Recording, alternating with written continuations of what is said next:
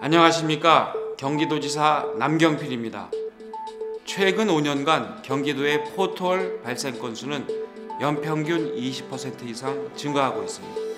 이에 도민들의 인적, 물적 피해 또한 급증하고 있습니다.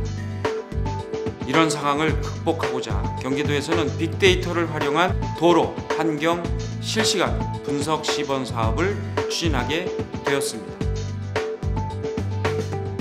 경기도는 민간 내비게이션 기업과 협력하고 있습니다. 도내 도로의 노면 상태를 실시간으로 파악하고 분석하기 위해서입니다. 이를 통해 도로의 위험 지역을 신속하게 보수할 수 있는 시스템을 구축하게 될 것입니다. 이 프로젝트는 내비게이션을 사용하는 도민들과 함께하는 사업이기도 합니다. 또한 도민들께 안전한 도로 환경을 제공하고 인적, 물적 피해에 따른 사회적 비용 부담을 줄일 수 있게 될 것입니다. 네, 상황실입니다. 지금 새마을초등학교 정문 앞 추동로 124번 길에 긴급 파손 예상 지점 발생하였습니다. 확인 바랍니다. 네, 알겠습니다.